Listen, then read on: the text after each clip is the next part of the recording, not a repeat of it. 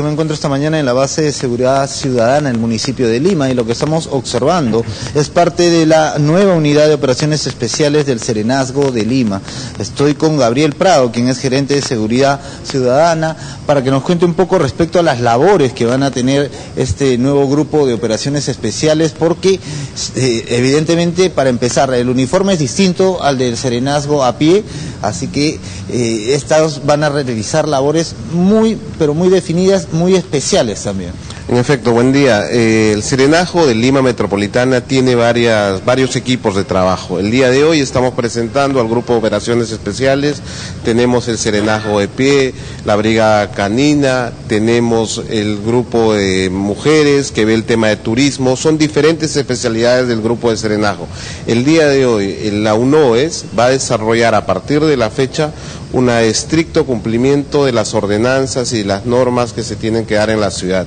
Este equipo va a trabajar coordinadamente con la gerencia de fiscalización y control de la municipalidad.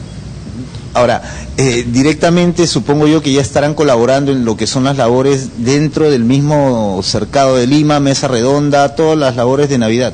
Como hemos lanzado el 14 de noviembre, el Plan Navidad sin Riesgo 2011 busca dar seguridad en las calles y este grupo va a aportar a ello.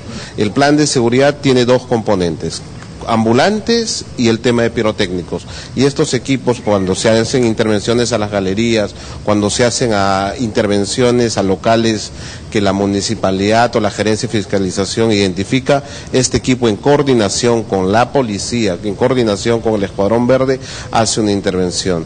Quiero aprovechar para comunicar que se han abierto 100 vacantes para formar parte de este grupo de operaciones especiales. La convocatoria está abierta, pueden postular acá en la Gerencia de Seguridad Ciudadana tanto varones y mujeres que quieran formar parte del serenazgo de nuestra ciudad. Correcto, entonces tienen que venir solamente aquí, vamos a, darle la dirección porque suponemos que mucha gente va a estar interesada en formar parte también de este grupo. ¿Cómo no? 100 nuevas vacantes para la unidad de operaciones especiales del Serenajo, pueden venir al kilómetro 6.5 de la vía Habitamiento en Piedraliza y esto es parte del germen de lo que va a ser el CENFOCAS, del Centro de Formación y Capacitación del Serenazgo.